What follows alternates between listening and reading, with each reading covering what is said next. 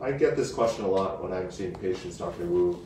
Uh, are contact lenses safe to be used during this time when pandemic is happening? Yeah, so contact lenses are um, safe to use. Now we just have to maintain good hygiene. Not that we didn't have to maintain good hygiene before the COVID era, um, but nowadays we have to be extra conscious and uh, careful. We want to avoid touching the eyes and face if um, we don't have to, and then definitely just wash your hands, wash your hands, wash your hands.